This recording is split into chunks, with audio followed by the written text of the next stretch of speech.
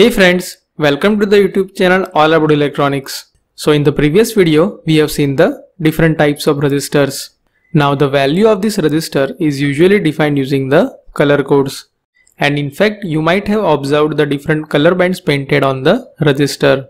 So now let us find out in this video how to find the value of this resistor from these color codes. Now the commercially available resistors can have either 4, 5 or 6 bands and depending upon the number of color bands these resistors are known as either 4 band, 5 band or 6 band resistors. So now first of all let us find out how to find the value of these 4 band resistors. So if you see any 4 band resistor then you will find the 4 color bands and out of the 4 color bands the first two bands defines the first two digit of the value of the resistor then the third band defines the multiplying factor for this resistor and the fourth band defines the tolerance value for the resistor. Now depending upon the color of this color band, the value of this resistor will change. So now let us find out the relationship between the color and the value that is represented by that particular color. So here is a table which defines the relationship between the different colors and the value that is represented by that particular color. So as you can see over here, the first two columns of this table defines the first two color band of this resistor. And depending upon the color of these color bands, the value that is represented by these two digits will change. Similarly, the next two columns defines the multiplying factor as well as the tolerance value for this resistor. And depending upon the color of these color bands, these two parameters will also change. So let us take one example so that it will get clear to you. So here we have one 4 band resistor and if you observe over here the first two color bands of this resistor are red and black respectively. So this red color band represents the value of 2 while this black color band represents the value of 0. Similarly over here the third color band is of green color. So it represents the multiplying factor of 10 to the power 5 and the fourth band or the tolerance band over here is of silver color. So it represents the tolerance value of 10%. So now if we combine all these four values, then we will get the value of this resistor as 20 into 10 to the power 5. And with tolerance, we can represent the value of this resistance as 2 mega ohm plus minus 10% of tolerance. So in this way, using these color bands, we can find the value of this resistor.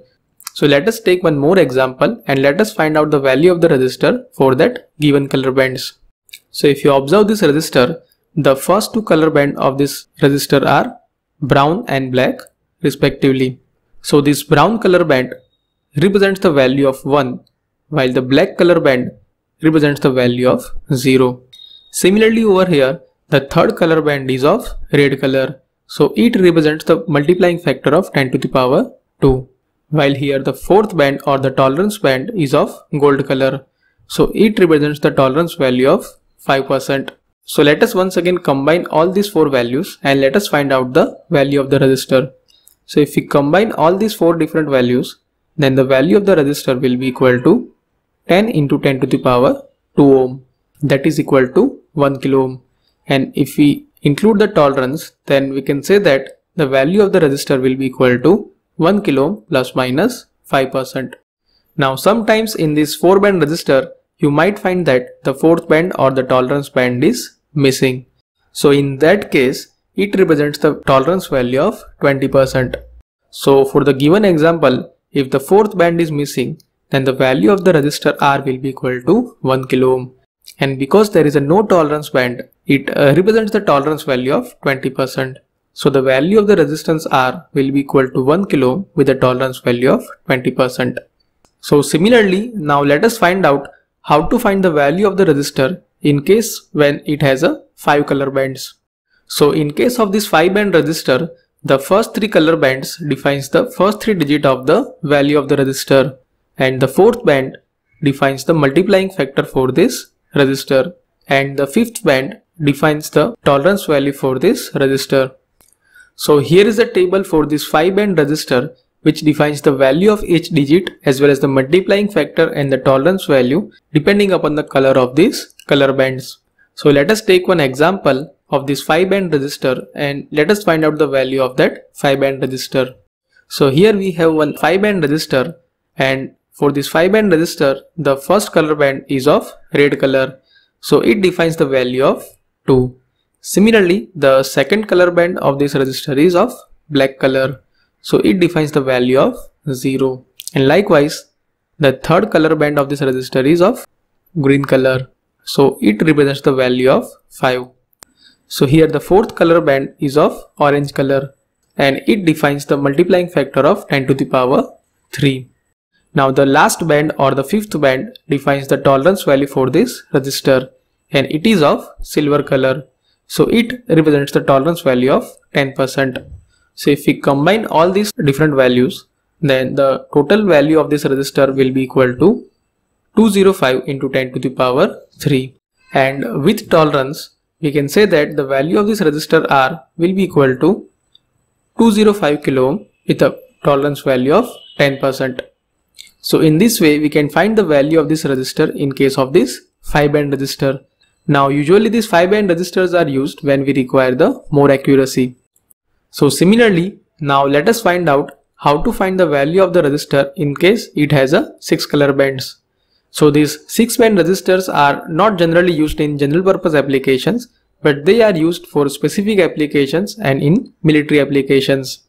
So in this 6 band resistor, the first three color bands defines the first three digit of the value of the resistor and then the fourth band represents the multiplying factor for this resistor.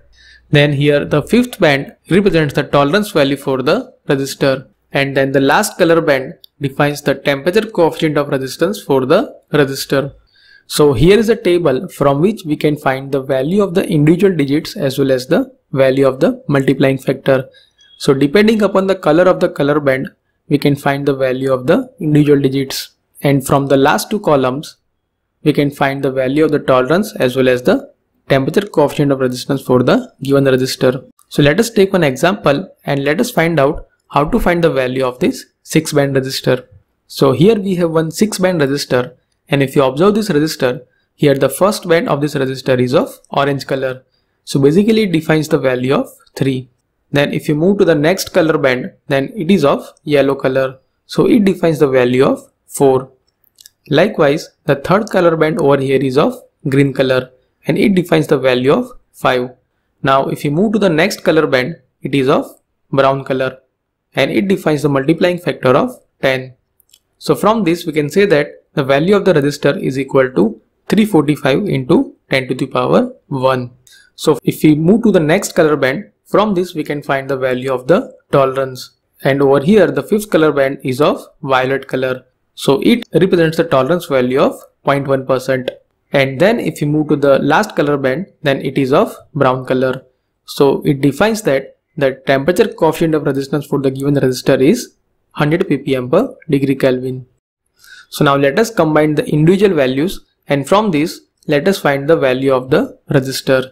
So if we combine all these values then we can say that the value of this resistor R is equal to 3.45 kilo with a tolerance of 0.1% and the temperature coefficient of resistance for the given resistor is 100 ppm per degree Kelvin. So in this way we can find the value of the resistor in case it has a 6 color bands. So I hope in this video you understood how to find the value of the resistor from the given color bands. So if you have any question or suggestion, do let me know in the comment section below. If you like this video, hit the like button and subscribe to the channel for more such videos.